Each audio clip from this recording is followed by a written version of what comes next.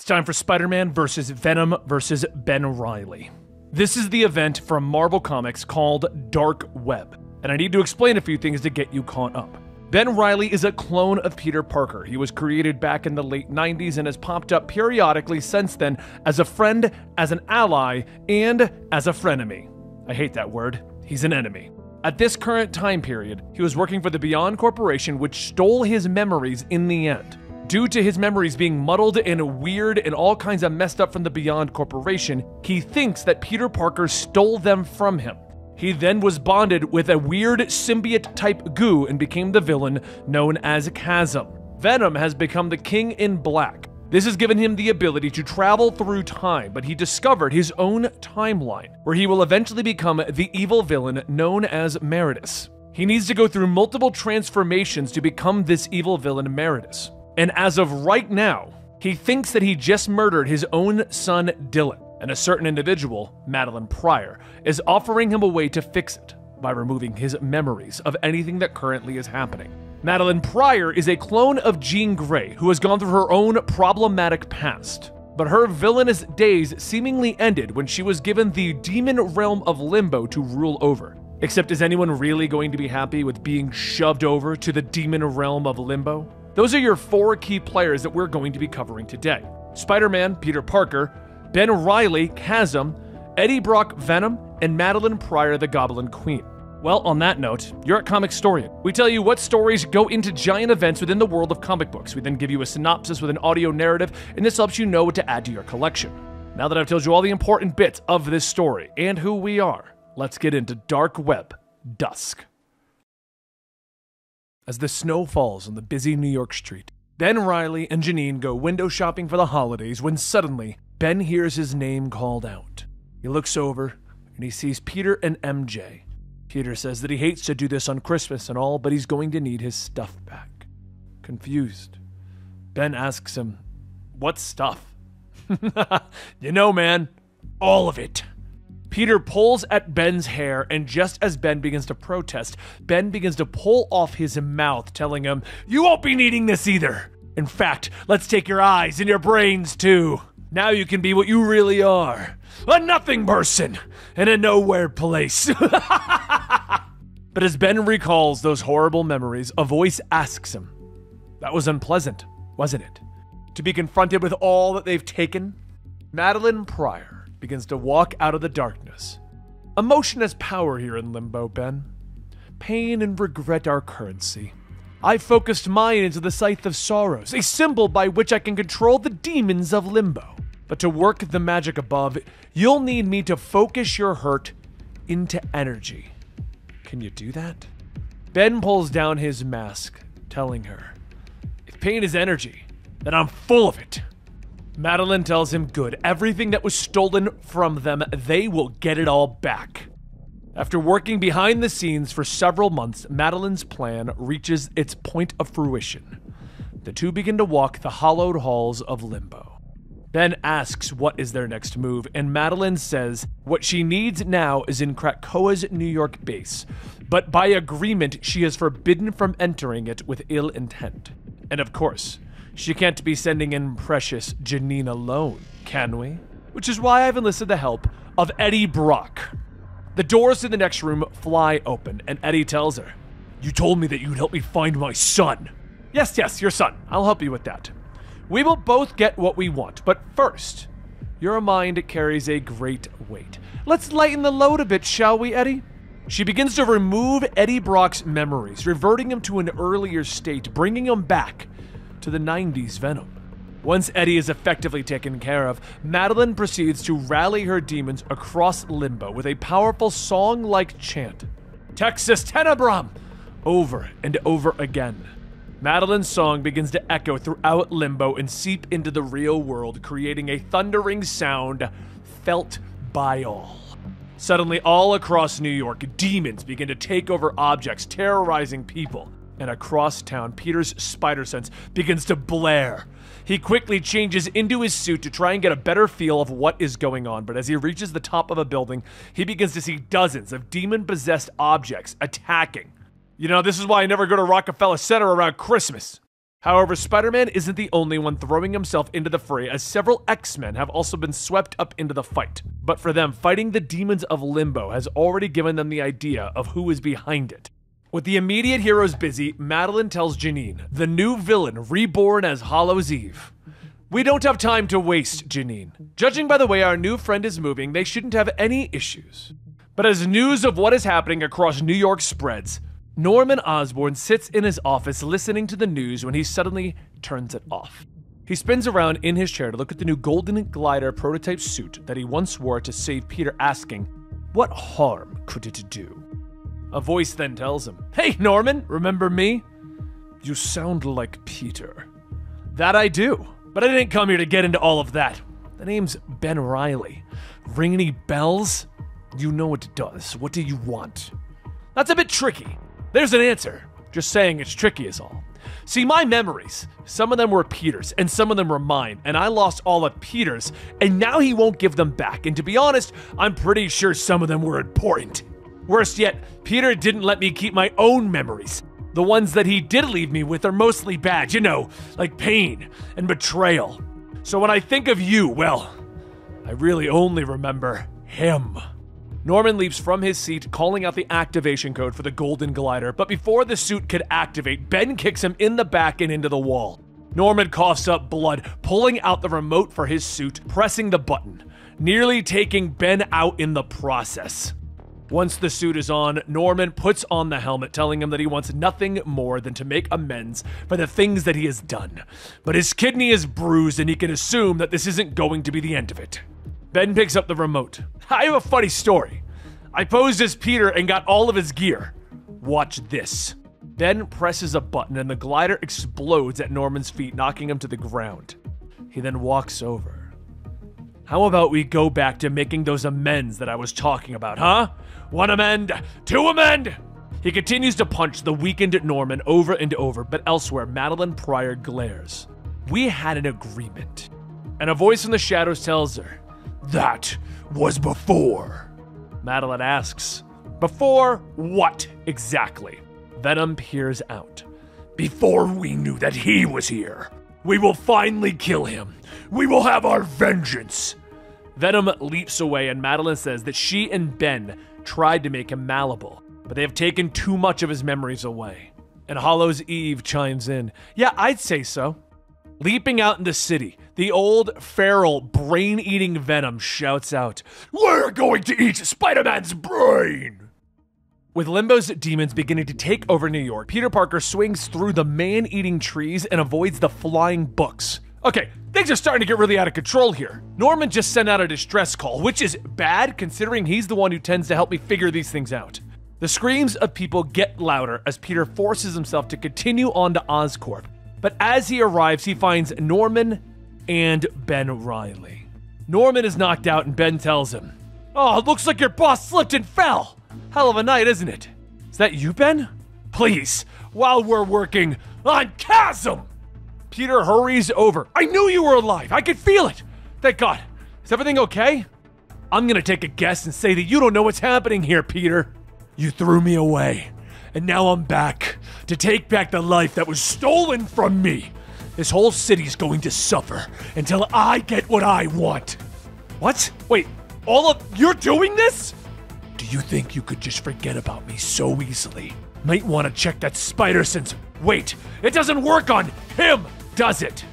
Before Peter could even ask, Venom cackles as he swings in, grabbing Peter by the head. Oh, Peter says. He finds himself pinned, well, it's time to get back to work. Goodbye, Peter Parker. Peter picks himself back up, looking back. Eddie! No, we are Venom! Look, please don't take this the wrong way, but you sounded a bit dumber. Venom begins to walk forward. We've never thought more clearly. We'll give you one guess what we want, and it rhymes with brains! It's just brains, isn't it? You, you just want to eat my brains. Yes! Peter punches Venom, yelling out, Too bad! As Venom punches back with a thunderous crack. Normally, Peter would be able to avoid or at least soften the hit with his spider sense, but clearly that is something that he's been relying on too much as of late. He just needs a few seconds too. But before he could fly into something, Venom webs him up, flinging him back with another punch. Venom begins to smile wide. This is easier than we thought. Maybe your brain is so small we'll be able to eat it in one bite. Hey, my brain is a four course meal, Venom! And my spider sense isn't my only trick in the book. I also know how to run! Peter begins to swing away to lure Venom away from the people around him, but he stops by a newsstand to pick up a magazine and a lighter, to which the sentient news cart then tries to eat him for. But as Venom eventually catches up, he begins to laugh. are you running out of breath? Maybe your lungs are as sad and weak as your pathetic, flavorless brain. Peter says that he's not going to be baited into a debate on his brain's flavor profile. He's got other plans. He lights the magazine on fire. Your brain is a scant meal if you think a puny flame will stop us. Peter begins to wave the burning book. I'm not interested in scaring you. I'm gonna burn these Christmas trees to the ground. And that's when the possessed trees begin to scream. The high pitched sound waves begin to wreak havoc on the symbiote. Peter lunges forward, punching Eddie out of Venom's hold.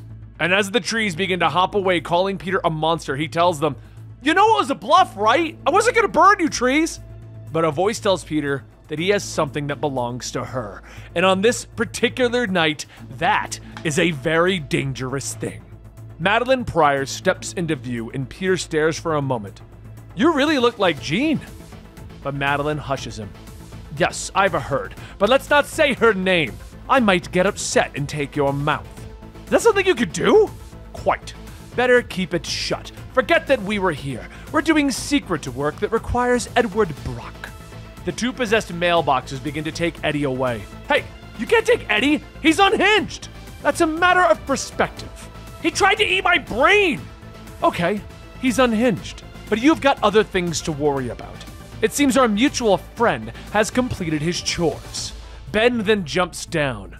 Hello, Peter. Where were we? But now we cut to a little before all the events. We go see what the X Men were doing right as everything started. The streets of Manhattan were extra busy as the holidays were approaching, and everyone was out in full force getting their last minute gifts for their loved ones. But as Jean, Cyclops, and Magik made their way to the next store, Jean begins to notice disturbances all over the city as several possessed buses, mailboxes, and scooters begin to attack people. Jean calls on the other X Men, and Magik says that they just need to look on the bright side. The treehouse isn't under attack. Madeline is magically bound from attacking Krakoa in any way. As the others arrive, Iceman freezes some of the demons, asking, Alright, so what is the plan here? We're just on defense for this? And Cyclops tells him, No, we're on offense too. But that means Magik tells him, Okay, one stepping disc to limbo coming up. Magik begins their teleportation with Cyclops telling Iceman and Firestar not to let New York go to hell. Not during the holidays. Jean states that they should grab Havok on the way. He's down the street fighting a bunch of very angry looking shopping carts. So once Jean, Cyclops, and Magik disappear, Firestar and Iceman get to work stopping the rampaging construction equipment when Iceman notices one of the demons is escaping. Fools! None of you can stand against the might of Limbo! Yeah, we should probably keep up with that one, Iceman tells Firestar. The demon flies towards Rockefeller Center, perching himself up atop the tree, and relieves himself, infecting the tree with his dark magic. One of the children looks up, asking if he just made a boom boom in the tree, and the child's mother retches. Gross! This city sucks! But soon the tree begins to transform.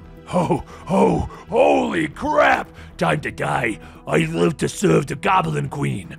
The tree swipes at the ice skaters below, and Iceman speeds by, grabbing everyone, telling Firestar to go ahead and give the tree the business. She opens fire with her flame abilities.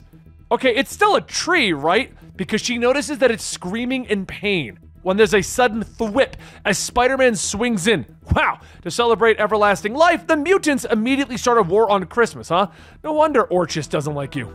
The tree then begins to thrash about, punching into one of the nearby buildings and pulls somebody out. And the heroes quickly assure the man to stay calm and that everything will be okay.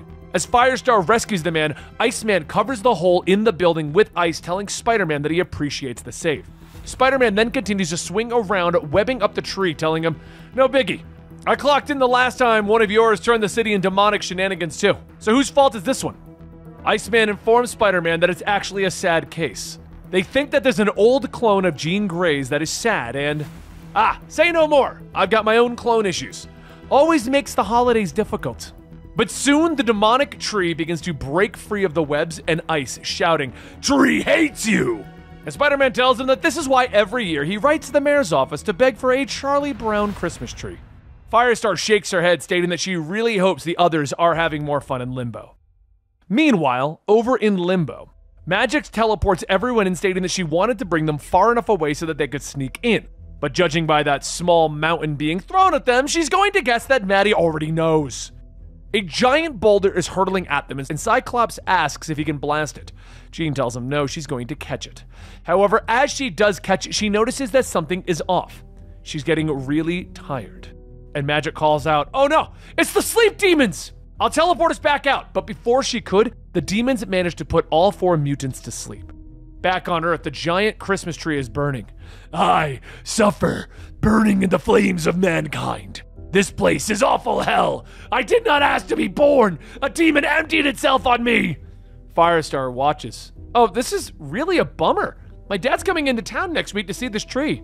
Iceman quickly freezes it over as it continues to ramble. I can't put it out of its misery, but I can at least shut it up.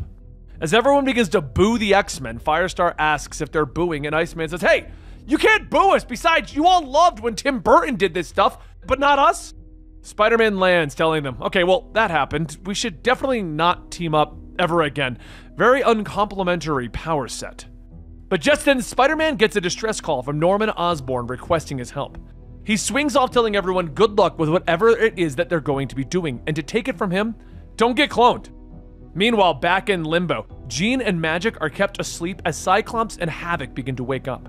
As they do, Cyclops says every time he has sympathy for Maddie, she goes off and does something like this. Havok says that he doesn't know what that's like to not be the one leading the charge, to be left behind, to be used up, chewed up, and spit out. Yeah, I can understand it. We're the same. Cyclops stops and stares. What are you wearing? Havok looks at the tattered robes. Give me a break. I woke up like this and stop changing the subject. Cyclops looks at the chains on his leg and says maybe he can break this but he can't get a hold of anyone telepathically. So, Maddie then says it's because his telepath isn't available right now. Cyclops tells her to release them. New York is a living hell. And Madelyne asks what's new. Suddenly, the chains holding the Summers brothers begin to rattle and whip, cracking the both of them in the back of the heads, knocking them out. She begins to laugh. We're going to have a little fun, and I'm going to get everything that I want, and the two of you get to watch. Back over with Spider Man and Ben Reilly. Ben begins to recall the last time that they met, at the end of the Beyond arc. He was holding the one thing that could give him hope the helmet from Beyond that would allow Peter to share his memories with Ben Reilly. But that never happened. Instead of sharing, he just smashed it and kicked Ben into a pool of psychoreactive goo. Peter stared Ben down. I have to be honest, that is not how I remember it going. That's exactly how I remember it, Peter. Peter shouts, You just said your memory was destroyed! Did I? That part's a little foggy, Pete! Peter, in a rare situation, is at a loss for words. No, I'm not doing this. It doesn't matter. Anyone who threatens this city has a problem. As the two of them begin to get into a punching match, Peter webs up a possessed scooter, throwing it at Ben, followed by a kick, launching him into a nearby pile of trash. Ben shakes his head as he sits up, asking, Where did you go? but the scooter then asks if either of those pieces of crap would like to tip him back up. Ignoring the profanity spewing scooter, Ben stands back up, telling him, I still have spider sense, you know. It's been acting a little weird lately. Peter rushes in, smacking Ben with a parking meter, but the energy from Ben's spider sense lashes out, stunning and shocking Peter in the process. He falls back. What the hell was that? My spider sense started playing offensive after you dropped me into that psychoreactive goo. Dude, you jumped into the psychoreactive goo! Ben begins to spin his webs. Either way, I got some new tricks. Anything you can do, I can do weirder. Soon the webs that Ben was spinning begins to take the form of an axe, and then he grabs a hold of the axe, swinging it. Batter up! Peter ducks, grabbing the handle. This is why we never made the baseball team! He begins to spin more webs, this time forming a club, bashing it across Peter's head. Peter stumbles back and Ben pulls out a small orb. We're almost done. I just have one more thing to show you, and it's a humdinger. Peter jumps in, punching Ben. If we're exchanging gifts, then I got you a new concussion. You've been holding back for so long you don't even realize it. Now imagine me, someone who has all your power and none of the responsibility. I don't want to hurt you, Ben. And Ben charges back in. That's exactly why you're going to lose! Peter begins to call out to Ben through the barrage of punches, but Ben starts to hit harder, telling him, When we're working, call me Chasm! Peter falls back, struggling to regain himself, and Ben picks up the small orb. This thing better not be broken. Shalahalati! Just then, a spike forms on the orb and Ben throws it. But just before hitting Peter, it stops sticking into the ground. Peter looks at the glowing orb and sees Jonah and Robbie, two of his friends, shouting, What did you do to them? Where are they? They're in limbo, of course, though for how long is anyone's guess. Bring them back, Ben. And how am I supposed to do that? We're down here. You couldn't possibly want to go to limbo. Peter pulls off his mask. Is that the game you're playing? You want me to go to limbo? Fine, Ben. Take me to limbo. Good. It sounded like you meant it. Maddie said you can only come if you mean it. Just then, a fissure begins to open up as several tentacles reach out of the hole and snatch Peter, pulling him down into limbo. This isn't over! I'll be back! No, it's not over, but relax. You'll be down soon enough. I'm just gonna enjoy the sights for a few moments because it's been a fantastic day. Peter closes his eyes as he begins to struggle, and suddenly he feels himself freeing, and he opens his eyes again. He looks around and sees that he's wearing a normal t shirt and sweater vest sitting at a desk, and then a voice shouts, Parker, you're late! Peter stares at what would be the demonic version of Jonah Jameson shouting at him to get back to work along his demon colleagues. Oh boy, what did Ben do? We now go to Venom 14, which tells you how Venom became a part of the event. So we go back to before Dark Web began again. After spending some time in the Garden of Time, a symbiote paradise, at the end of time, Eddie Brock was desperate to return home to return to his son Dylan's side. But while escaping the garden and slipping back into the time stream, Eddie wound up in limbo where he met its ruler Madelyne Pryor and Ben Reilly just as the two were formulating their plans to get back to their original counterparts to fix their missing memory problem. This is when Madelyne told Eddie that she can help him find Dylan, but only if he helps her with her plans. Eddie tells her that he wants them both to understand one thing. I came back here to break out of a future that I've created.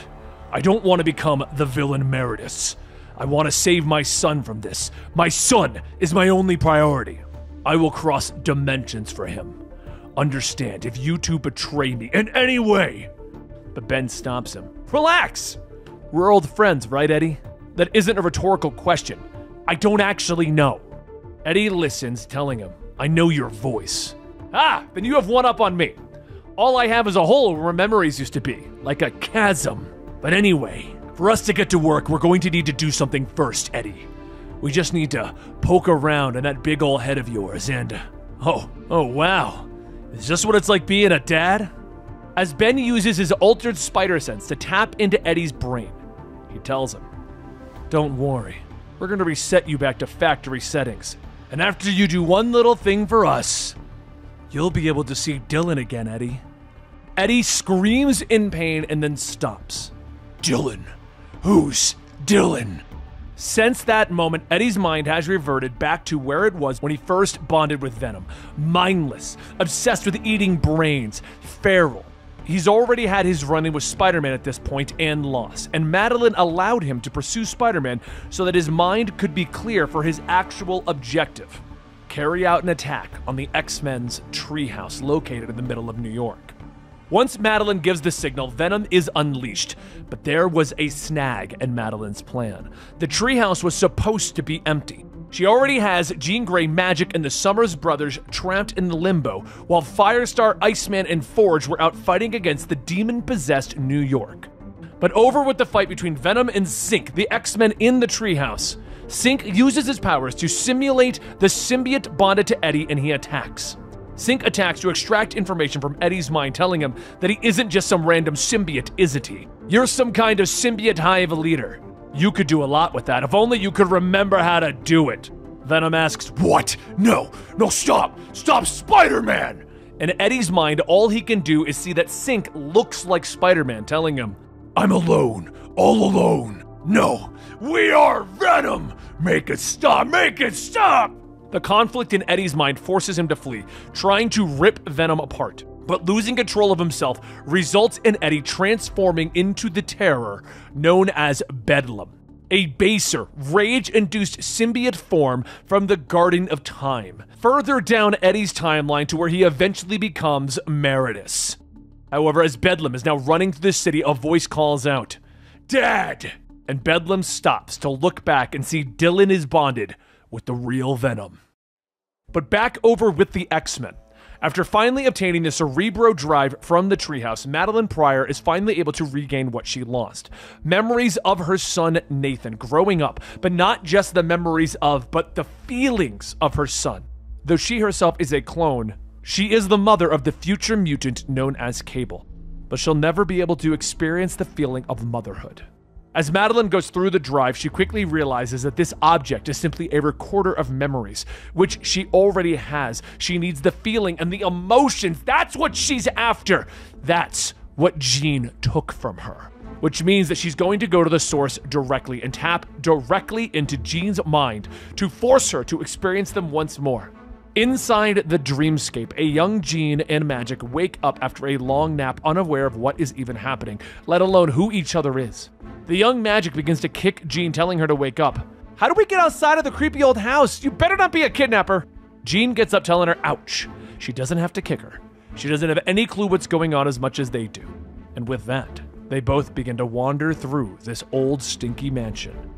Meanwhile, back in regular limbo, Cyclops calls out to Madelyne to please give him his visor back. He won't use his power to try and escape again. She really didn't have to surround his head with puppies.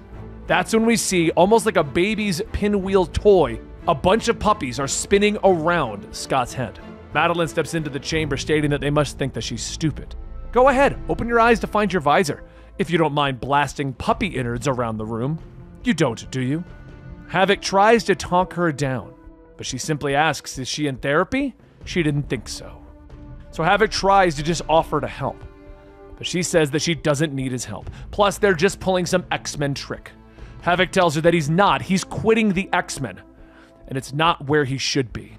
Forge put him on the team just so he'd become a headache for Cyclops. Maybe he's supposed to be an X Men, just not this team of them. Madelyne pauses for a moment and says that she'll consider Havok's offer, but she has to go. Her spell is ready. Back in the dreamscape, young Jean and young Magik hear the cries for help and they rush in to find Madelyne being attacked by little Nightcrawler devils. Magik uses her stick to smack them away, and Madelyne tells them thanks. She just woke up here and she isn't sure how long she's been stuck here. The answers they're all looking for are inside of this device, but she doesn't know how to open it. Maybe they do? Jean takes the Cerebro drive and looks at it, telling her that it looks familiar. Maybe it needs a key. And Madelyne tells her, Yes, yes. Just imagine opening it, Jean. Back out in regular limbo, Cyclops is keeping his eyes closed around the puppies, telling Havok that he might be onto something about lying about quitting the team. Maddie seems unbalanced. Havok tells him that he isn't lying. He doesn't belong here. He deserves to be somewhere that he is needed, somewhere that he wants to be. The public X Men team already has a Summers leading it. They don't need Havok. It takes only a few more moments, but Cyclops finally apologizes. Forge didn't throw Havok on the team to embarrass him. He thought maybe something could be fixed, but maybe not. And Havok just tells him he's fine.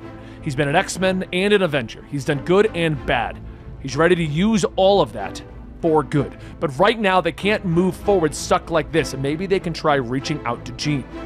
Back in the dreamscape, Madelyne brings Jean to Cerebro, telling her that that's it. Put on the helmet, and you can get the information out of the box. Once you have it, everything will be okay. But as she does, Jean can hear Cyclops calling out to her, explaining that Madelyne has placed them all under a spell and they are stuck in limbo. I love you, Jean. You're the most powerful X Men. She stares at the helmet where she sees her reflection, but not the reflection of the child Jean that she thinks that she is. She sees her adult form. She begins to regain herself and her memories, getting up, knocking everyone aside, looking at Maddie. Bringing us before we had our gifts? Very unsporting of you. Madelyne glares. How rich it is to be lectured on what is fair by Jean Grey. Jean steps forward. End this, Maddie! Not until I get what I want, Jean! And with that, Jean delivers a telepathic slap that can be heard around the world. Back over with Spider Man, who is currently contained within the world of Limbo. We discover that Ben Reilly has also captured J. Jonah Jameson and Robbie Robinson in an attempt to force Peter out in the open. Ben's plan worked, and he took the three down to a part of Limbo that he refashioned to look like New York, complete with a Daily Bugle and demon co workers. But as Peter is crossing the street, he noticed one of the demons is truly committing to his role as a human. The other demon walking with him gets upset, threatening to bite his head off. So Peter runs up. What did I tell you about that? Humans don't bite the heads off of other humans. The demon turns back, shouting that he can't take it anymore, wearing stupid human clothes. Arr! But before the demon could chomp down on Peter, he punches him, sending him spinning. The other, smaller, enthusiastic demon is excited. You saved me! It's not your job! Anyway, sorry. It's just a force of habit. I really need to go to work now. The demon calls out that he's the meat man that they call Parker Pete Man. And Peter sighs. Close enough. Inside, Jonah tells the demons that they need to go out and get him a story, but all the demons yell that they need him to be mad. You're not taking this serious, J. Johnny John Man! Jonah tells him that wasn't even close to his name.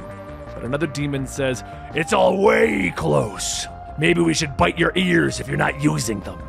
Peter rushes in, grabbing the demon. If you touch Jonah, we're gonna have problems. And another demon tells him, You know what happens to John Man and all your friends if you don't work, right? Look, let's all just be respectful and get to work, Peter says as he tries to ignore the situation. As he goes out for his assignment, Ben stops him. Ha! Another tough day at the office, Pete? Just let us go, Ben. This is between us. Come on. You don't think I went to all the trouble of making Limbo look like home just to be turned down. So why not just take a little nibble on this apple and we can call it a day, Pete? No, I know what you want from me, what you think I stole from you, but I'm not playing your game. Look, I'm being nice. I could force this apple down your throat. I don't really think you can, or you would have done that already. In fact, it would seem that whatever that fruit is, I need to eat it willingly, which means that I have to give up. And if that's what you're wanting, you've lost your mind. I will never let you leave, Pete. I wasn't planning on asking for permission, Ben. Later that evening, Jonah is trying to go to bed, with his bed telling him to come to bed. But eventually, Peter shows up at the window, trying to talk things out with Jonah. They talk about the weird piece of fruit that they seem to really want Peter to eat. But Peter explains that that got him thinking. If Ben is attacking New York, then there must be a way back up to New York and back down to Limbo. So tomorrow, when they go to work, Peter's gonna give the signal and hopefully they'll be able to catch a ride out. However, he's gonna have to replace his costume. You got a thimble by any chance? The next morning, Jonah calls all the demons in, stating that he got a lead on a red hot story. You're not a bunch who's just gonna let someone scoop up a red hot story, are ya? The demons all shout no, and Jonah straightens his tie. Good, because this is deadly serious. Apparently, some demons have been allowed to go up to the real New York. Instead of dressing in a suit and tie, they're hunting humans, making them scream, making them cry. Word is, they all do it. Scream, cry, and bleed. Good thing that isn't us, right? The demons all nervously nod. Yeah, not us. Good, because I'm looking for a few brave reporters to shine a light on this injustice. Reporters who will sleuth and investigate and never join in on these heinous crimes, which we all agree would be no fun. The demons all begin to stare at one another when suddenly they all make a break for the door, shouting that this is their story. No, this is my story. No, this is my story. All of them arguing over it. Robbie looks at Jonah. I can't believe that worked. I can. It wasn't that hard to get into their heads. Peter crawls through the window, telling them that it's time. Let's move. But as he attempts to leave, he meets the sinister six replicants that were created for Limbo Gorpion, Grave Goblin, Ryotrops, and Dr. Octoball attack, with Dr. Octoball asking, Do we remind you of home, Wallcrawler? Is this how you like to spend your days? Peter looks back at them, very monotone. Oh, yeah, what a blast. Kraken the Hunter picks him up. No crap. Peter tries to swing away, but someone stops him, and he looks up, asking, How can this get any weirder? But another demon dressed as Spider Man. They said they didn't need another Parker that he had it backwards. Say hello to Rekrap, which is now the demon replicant of Peter Parker. As the mindless Bedlam runs through the streets of Manhattan, punching cars out of his way, he screams at Dylan, Give Venom back! Give it now!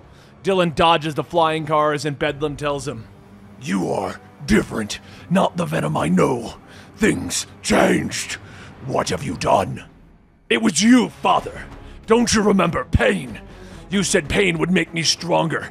Then you stabbed me in the heart and you left. In that moment, everything changed. Dylan summons the all black sword, swinging it, cutting an arm off. Bedlam screams, and Dylan tells him, It will not grow back. Once the all black severs the flesh from your body, it is severed from the hive, from your mind. Do you understand what this means? I'm going to kill you! Bedlam grins for a moment and then begins to laugh, telling him, And I will walk back into Meridius's garden, where I will replenish my flesh. Once I have ended you and taken back Venom! I can understand why Meridius yearned for this new form of Venom. It is powerful. But I am the King in Black. I am God. And no one will be able to take me down alone. Bedlam grabs a hold of Dylan. Who said I was on my own, father? Suddenly, tendrils lash out, grabbing Bedlam by the arms, pulling him off of Dylan. When Bedlam looks back, he sees another symbiote, one with the face of a goblin. Is that really you, Mr. Brock, in there? I never thought I'd see you in red. Earlier that night, before engaging with Eddie, Dylan made a stop at Alchemax, specifically to see his buddy, Normie Osborn. He told Normie that he needed help, that his dad was alive and that he was trapped. But for Dylan to free Eddie, he was going to need Normie's help. Normie asked what is he supposed to do, and Dylan held out a symbiote. The symbiote slowly began to bond with Normie as he tells him, This is what my mom was afraid of. She's worried that I'm to become a creature of nightmares again. Dylan tells him that their parents can't keep them from being who they are. Their fears are always of the past, but Normie is not Carnage. He is not his grandfather. You are something new. There's no going back. There's only one way through this forward. Back at the fight, Bedlam lashes out. It doesn't matter. None of this matters, don't you see? I am not the possibility, I am the consequence. If I exist, I must win this battle and the next and the next. There's another swing from the All Black, and an eye from Bedlam is removed as he screams. Bedlam shakes his head. I see now. You are not Venom. You are not just Venom. Dylan stands back up as Codex. I will show you the meaning of fear, Father. I will show you what you're made of. I will kill you if I have to. Just then, a voice calls out, telling them, All right, hold on a second, because there's not going to be any killing. Everyone looks up to see Miss Marvel as she goes on telling them, If there's any killing, I'm going to be in a lot of trouble, guys. But back over with the X Men. We travel back in time once again. Once upon a time, Mr. Sinister thought to clone Jean Grey, and he called her Madelyne Pryor. His plan was to have Cyclops fall in love with Madelyne Pryor, and hopefully they would have a rather interesting child. They did, and the child Cable changed the course of mutantdom forever. Soon after, the Jean copy was discarded by the villains and even the heroes. The real Jean returned to raise the child Nathan. Life went on. Hearts were broken once more. But now Maddie sits upon the limbo throne and she desires memories of the days that Jean lived in her stead, especially those about the baby she lost to the future. But as Madelyne searches through the Cerebro Drive, Jean asks what is it that she is looking for, and Madelyne yells that she wants what was stolen from her! The two begin to fight their psychic battle, with Jean telling Madelyne that she does not need her gift to feel the despair. No more games, no more tricks. This ends now, Madelyne! Jean's attention turns towards the drive, and with her power, she shatters it before Madelyne Pryor. Madelyne falls to her knees, distraught, confused. Why? You took the memories from me again! Why? Not this time, Jean. I will. But Jean cuts through the psychic rocks being thrown at her and punches Madelyne. Stand down! You can have what you want! And Madelyne tells her, I shall. She twirls her finger and a portal to Limbo opens up as demons tackle Jean Grey. But all that has done is make her mad as she blows them all off. They go back and forth, more psychic rocks being thrown at Jean, and Magik arrives wondering what she missed. But Jean informs her that what she missed is that she is surrendering. Madelyne and Magik stare at her. You are? Magik tells her, Okay, I'm gonna go see what the others are doing, Jean. You work this out. Magik leaves and Jean lets down her guard floating there. I wanted to heal your wounds, Madelyne, but someone was too busy throwing rocks to hear me. I wasn't looking to hurt you with the drive. But Madelyne sighs. No, this isn't about Eugene. I just. I never got over losing Nathan. I gave birth to him alone in a kitchen. Jean closes her eyes. He was a good and quiet baby. She was after the memories of her time with Nathan before he had to leave, right? Madelyne says she wants it all the good, the bad, the first steps, the burps, the farts. So Jean focuses her powers and says that she can have them. Just like that, the memories of raising Cable begin to flood into Madelyne's mind. Madelyne stumbles back. I didn't think you'd just. But Jean tells her that just because she's giving those memories to Madelyne doesn't mean that she's losing them. She didn't have them as long as she'd like. Mutants grow up fast especially the summers, but right now the world is still burning, and New York needs the X Men. So say the words. Madelyne is stunned. Really? But Jean laughs, lending her power to her. Here's the microphone. Madelyne turns and shouts, To me, my X Men! Seconds later, Cyclops and Havok run in holding several puppies. Cyclops says that they're a little behind since they had to save these guys. What's going on? Havok informs Madelyne that he meant what he said before about helping her.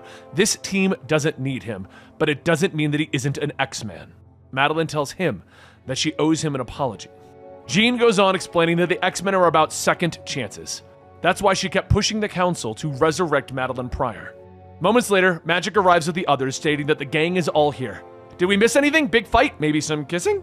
Madelyne tells her that she missed her learning who the X Men really are and what it means to be one.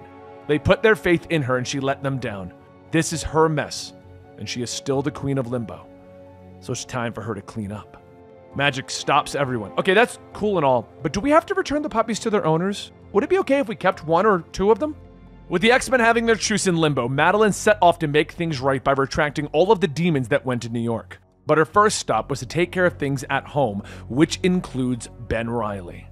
Ben is sitting by the demonic fruit tree asking her how it's going.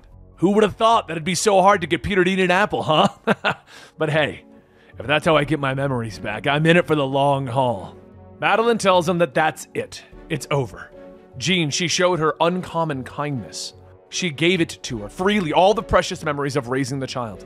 That's great, and believe me, Peter is close to breaking Madelyne. He might be trying to escape right now, but once he's put back in his place, he'll cave, for sure.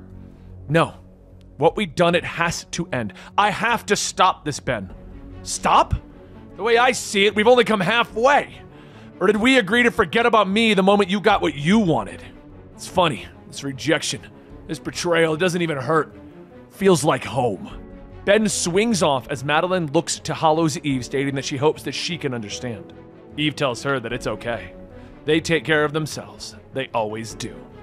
Meanwhile, back in the mean streets of New York Limbo, or Limbo, New York, or wherever Peter is, Peter finds himself an unexpected ally in the demonic form of him, Rekrap. Yep, that's me, and you'll never guess where that name came from. I already guessed it, and I hate it, Rekrap. Octoball yells, Wait! Demons are supposed to break the spider, not dress up like him! Did you hear that? The Insidious Six have teamed up to defeat us! What do you say we start this off with some classic web wanging? What? You know, web wanging. And with that, Rekrap begins to fire dozens of web balls from his finger guns. Pop, pop, pow, pow, pop. Octoball shouts out that no one web wangs the Insidious Six, and Peter sighs. Let's just punch them, okay, Rekrap? But while Peter is busy battling alongside his demonic clone back at Madelyne's tower, Madelyne prepares to give the announcement to all of the demons to return to Limbo when Eve stops to check on her. Eve then puts on the Frankenstein mask, turning herself into Frankenstein, grabbing Madelyne's scythe of sorrows, pushing her over the ledge, telling her not to scream. She let her keep her head. Then maybe her power deserves someone with a little less responsibility. Back with the spider duo, Rek keeps firing his finger guns, making every possible popping sound, with Peter telling him that if he's going to make the sound every time, at least pick one. You got it, champ!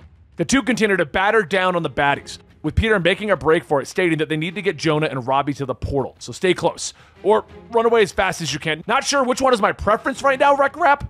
But as Peter is leading the others to their possible freedom, Ben finds himself under the withering demonic tree. I had hoped that I'd convince Peter one last time. Beg, even. Guess on top of everything, I've forgotten who's really in charge. Eve walks up smiling. Yeah, who was in charge? All of Limbo's leaders have a weapon, a symbol of their authority, and if they lose it, well, they lose their authority. So take the scythe, and then whatever else you want. Ben grabs it, immediately beginning to feel the power of Limbo flooding into him as he becomes the king. But the transformation stopped. He declared, All hail, King Chasm! Over in the city, Peter and the others arrive at the portal that the demons are using to get to the city. But they're stopped when there's a sudden boom that shakes the underworld as it Ben effortlessly lands there. Forget about home. It's already damned. And I'm the one who condemned it to hell when you refused to offer me your soul. Oh, cool. Congrats on making yourself weirder, Ben. Ben effortlessly slaps Peter away with Rekrap yelling, That was my sidekick, you sick! But Ben grabs the demon by the throat, slamming him into the ground.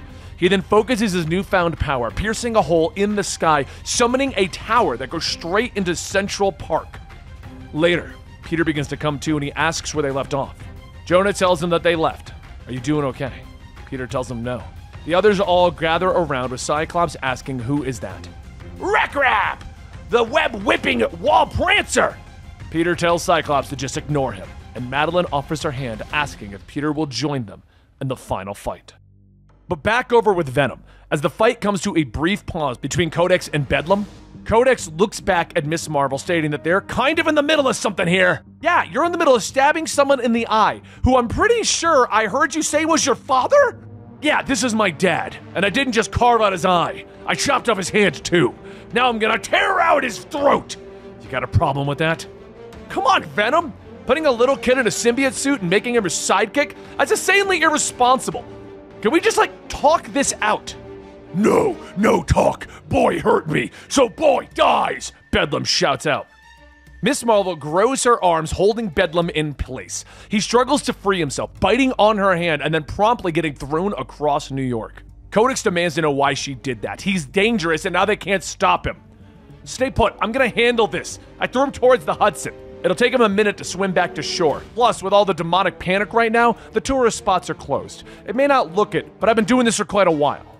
Codex just yells at her that she doesn't understand. And then he begins to scream as he falls to his knees. She wants to know what's going on, and he explains that he cannot hold the Codex form for long. He can't hold the Necro sword for long. He then reverts back to his human self, and Miss Marvel realizes that Dylan is just a kid as well. Yeah, look who's talking, Miss Marvel. Look, I'm actually a young adult now, but I'm definitely older than a 10 year old sidekick who. Wait, where did your sidekick go? Meanwhile, back at the pier, Bedlam begins to climb up onto the shore as he hears a voice calling out to him. He growls as he stands up. Meridius! it's been quite the day, hasn't it, Bedlam? Sporting the whole new look already? Seems Chasm's little memory mojo really did some work on your mind. Ironically, I can remember how that felt. The confusion, the rage, the difficulty thinking straight. It's no wonder you want so badly to get to Venom back. It's the only thing that you can hold on to. Everything else is bedlam. On the other hand, there is a want of the Garden of Time. You want to go back to it, which is quite the turnaround. I want to go back to regrow and take the throne from you. You'll make an attempt. But why come to the garden when the garden can come to you? Consider this a down payment. You'll need a strong right hand when the time comes. As Meridius gives a part of himself to regrow Bedlam's arm, I'll never be yours. Never is a really long time, Eddie. You'll get the eye back when you're ready to come back to the garden for real. Oh, and one last thing. If your other has a sword, why don't you? Bedlam looks at his arm for a moment and thinks, and it transforms into a chainsaw. This will do. At that moment, Normie jumps down. Whoa, that is so cool! And Bedlam grims. It is so cool. Come closer. Look with your face. Bedlam swings his giant arm, and Normie flies around using his goblin webs to tie down Bedlam. Normie then taunts him for being stuck, so Bedlam revs up his chainsaw, cutting off the restraints. As he gets ready to attack, though, a voice yells that they'll take it from here, and Dylan, back in his original Venom suit, jumps in. No, you're not me. We, we are Venom. If we are not Venom, who are we? Give me back Venom. Dylan swings his chains, keeping Bedlam back. I'm sorry, Dad, but some things you can never have back. The two of them get ready for their ultimate showdown. But that's when some possessed benches begin to take bets on who's going to win. That distracts Normie and Miss Marvel while Dylan and Bedlam continue their final fight, with Dylan shouting, You abandoned me! You abandoned us, king of every symbiote in the universe, except the one you didn't want to bother with! Saving every soul in the galaxy, but never checking on your own son! What's wrong with you? Even after all of that, I wanted to save you, to make sure nobody could get hurt again. But maybe we can end this pain right now. At that moment, before Dylan could strike Bedlam down, a projection of Madelyne Pryor appears, telling Eddie that they are linked and that he is needed. Come to me, Edward. Bedlam begins to be pulled away with Dylan yelling, No! We're not done yet, Dad! But as he reaches out, Bedlam is already gone, pulled into the final battle. Dylan turns back to Miss Marvel asking if this is what she wanted. You got your way! I was supposed to save him! Were you trying to save him or kill him, Venom? I heard every word you said. You didn't know what was about to happen. How would you have felt if you accidentally killed your father by stabbing him in the heart and he just died? Could you have lived with that? I don't know if I'd hate myself or be glad, or if I'd hate myself for being glad. But it'd be the end of it, because this, this has to end one way or another.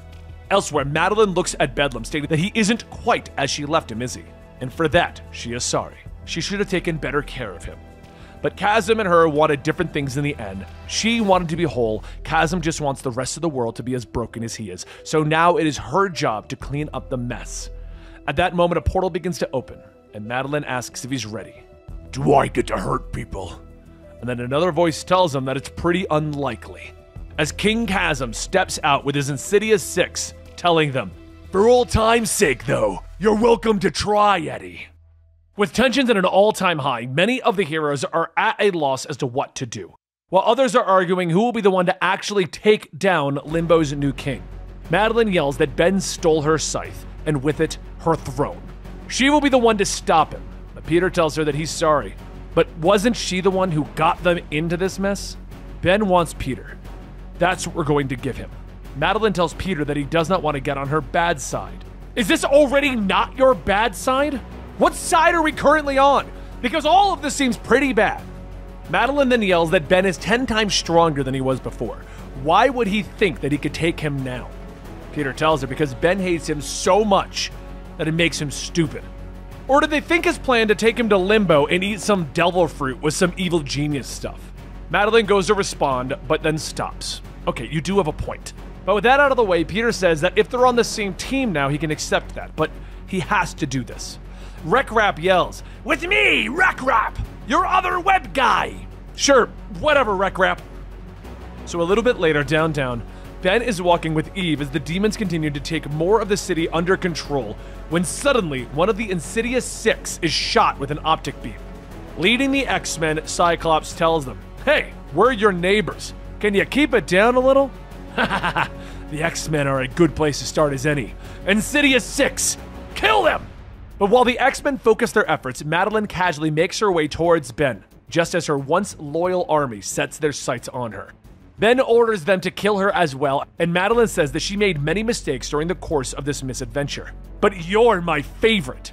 As the demons surround her, the sound of a chainsaw revving can be heard as Bedlam tears through the first wave of demons. This is my friend, Eddie Brock. But Bedlam corrects her. Bedlam! Ha! Right. I took his memories away. And much to my surprise, he liked it. And unfortunately for you, that's not the only thing that he likes. Bedlam begins to laugh maniacally as he charges through more of the demons with his chainsaw. What a gift to exhaust myself in your murder, and I don't tire easily. While Bedlam eviscerates the demons, Ben gives the order to pull the troops back and focus solely on the fallen queen. But that's when Peter swings in, telling him, Man, you really did get big and weird, Ben. Eve looks past him, telling him that Ben isn't the only one. And Peter looks back at Rekrap. Who's weird? Rekrap asks. What can I say? I'm a good influence on these demons, guys. Eve then puts on the big bad wolf mask. Sure, sure. I was feeling a bit out of place. Least I can do is weird it up too. Eve transforms into the big bad wolf, so Peter tells Rekrap to handle the werewolf. Back with the X Men, the fight with the Insidious Six proves to be quite challenging, to the point where something drastic must be done. Cyclops calls to Magik, telling her to do it. And as much as Magik would rather continue fighting, she shouts, Fine! and begins to teleport all of the creatures away. With the Insidious Six taken care of, Bedlam finishes up another round of demons, with Madelyne telling him that she appreciates his appetite for destruction, but she trusts that he's sated. Havok begins to walk up, still in his old, tattered, and weird uniform, asking if this guy's bothering her. Bedlam laughs, and Madelyne tells him that he's trying to. Havok looks back, asking if every demon in limbo is coming down after them. Bedlam laughs, yes, yes, and Madelyne says that he has a rather strange sense of humor. But just before things could take a turn, the X Men arrive to offer their support, leaving the main fight to Peter, Ben, Eve, and Rekrap. Eve changes Max to try and match Rekrap's strength, leaving Peter pretty underpowered compared to King Chasm, aka Ben Reilly. But the few cracks of the scythe, Ben knocks Peter down, telling him that his life is no more use. And in the end, you have everything, Peter. But as Peter seems to be beaten, a voice calls out that there are some things that you can't steal from a man friends. Ben looks up in the sky to see Norman Osborn flying in with his golden glider, accompanied by Miss Marvel, who's already prepared for the battle. Ha! Thank God. I heard a dramatic entrance and thought it was the Avengers. Instead, it's just two losers I've already dealt with. Ben and Eve then turn their sights to the new additions, with Madelyne finding herself in the middle of a horde of demons. They latch onto her, telling her to bow before the new king. But as soon as the demons completely engulf her, there's a burning light that begins to shine as the mountain of demons explodes, turning to ash. Madelyne stands up as her power radiates. That is enough! Anyone who believes that it was the scythe who made me dangerous, come forward, so that I may eat your face! The others stare, and Jean realizes that all of the demons are bowing. Magik says, Hell, I almost took a knee. Back at the main fight, Norman throws his bombs at Ben. They begin to go back and forth, with Miss Marvel stretching out her arms, trying to wrap them around Eve, as Rekrap yells, Miss! Miss! Your arms are misshapen and stretching all over the place! Miss! Miss Marvel simply tells Rekrap that she knows. The fight begins to turn in the favor of the heroes with his friends, and Ben asks if they really think that they're the only ones with friends. All of the demons in Limbo are at my command, Peter! But Cyclops corrects him. Were. All of the demons in Limbo were at your command. Everyone turns their attacks on Ben and he's blasted away as Eve runs over to make sure that he's okay. And Ben gets up. I'm sorry, but you need to go, Eve. He cuts the air, creating a portal around Eve, but before she can argue, he warps her away. All right. Where were we? He attempts to fight off the army of demons, even teleporting Bedlam away from the battle. But Madelyne stops him as she grabs her scythe, telling him it's enough. She can see his pain, and she can see that he has to be stopped. Before Ben can respond, Magik attacks him, forcing him to let go of the scythe, thus returning it to its original owner, and thus returning Chasm to regular Chasm. With the Battle of New York settled, time began to flow once more. However, Ben sits in his prison in limbo, and he gets an unlikely visitor. Peter jumps down onto a branch, telling him that he's been busy cleaning up the mess that he left behind, but hasn't been able to find Janine or his super demonic fan. He just wanted to make sure that Ben was okay. Huh, you had to come pretty far to do that. Bravo, real Spider Man. Bravo. Peter says that he wants to help Ben, even if they've got him trapped in this place. Just give him something. Let him know that there is something that is Ben Reilly still in there. Ben stares at Peter. Without saying a word, he pulls down the chasm mask. A demon yells that Peter's time is up. So he jumps back out of the portal, and Madelyne says that she's sorry, but they do have rules here. Peter says that it seems rather nice in there. Madeline tells him that the demons that she asked to devise his cell had confused ideas as to what constituted as torture. Right. On that note, I'll see myself out. Jean and Cyclops arrive, stating that their Krakoan delegates stepped in to help move things along but he's still surprised that the United States even went with the plan. Madelyne tells him that she simply made it clear that if relations with her kingdom weren't normalized, they risked becoming more abnormal the next time. Jean asks if she's sure about this. They'll continue to support her no matter what. But is this a good idea? Madelyne says that for too long, Limbo has held the spirits that no one wanted to face. Parts of them were condemned to darkness. Nothing heals in darkness. She'll open her arms to the rejected ones, the ones who have fallen so far. They've been starved of the light. Madelyne turns to look out her window, stating that there will be no more hiding. And that's when we see that at the very base of this tower is a plaque that reads the Limbo Embassy, as it is now located in the middle of New York.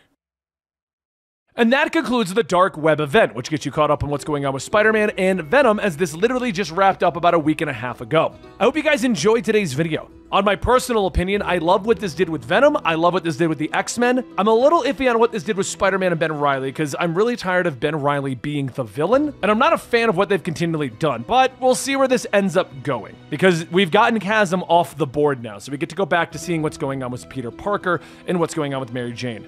Now, there are three tie in series that we did cut out of this. It's already super long. Uh, Mary Jane and Black Cat had a tie in, Gold Goblin had a tie in, and Miss Marvel had a tie in. But it really was just them having fun during this event and battling against the villains if you want to check them out yourselves. Anyway, I hope you guys enjoyed. Don't forget to like, subscribe, hit that notification bell, and join us over at YouTube memberships or Patreon. And I'll see you next time right here.